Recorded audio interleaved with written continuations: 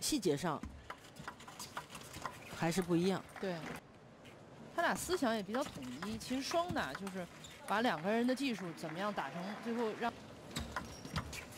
这个能打双打的这位选手非常的呃，就叫独一无二吧，确实是世界上最好的。完了，他的技术一定要相对全面，完了没有明显的漏。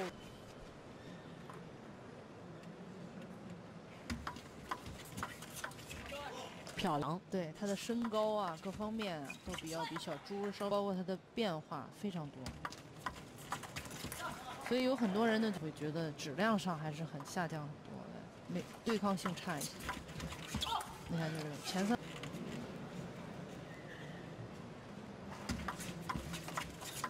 哇，这个球拉的直线，直接把球给拎起来了，嗯、甩过去的，扔过去的，不了朱雨玲和陈梦。对。上一局有那么两个球，他想反手拧，但对方在发球的时候，他会把球发得很长，因为他就这把大搓基本上平野就破不了。对，平野的上旋是非常强的，如果盯，反正你就是一下嘛，你要你要加强你自己的这一下的质量。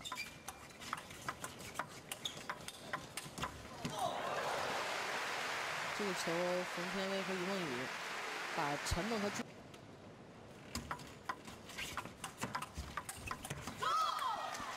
质量上面就有明显的这种对距离，对啊，主要打起相识他们的一些对场上的一些问题。其实我觉得中国的运动全是按照单打那样把住位置的话，相对来说你的同伴也会很别扭。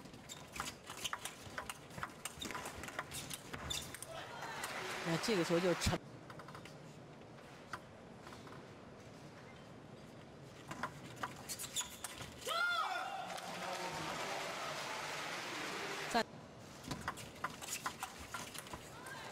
擦边，球放在你的身前，一定要能发上力、合上力的这个点。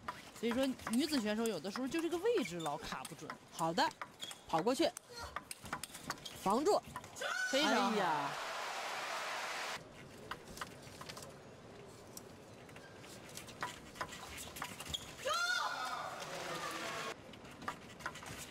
漂亮，好球！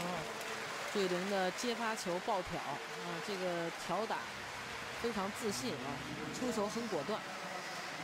七比七，中国选手陈梦。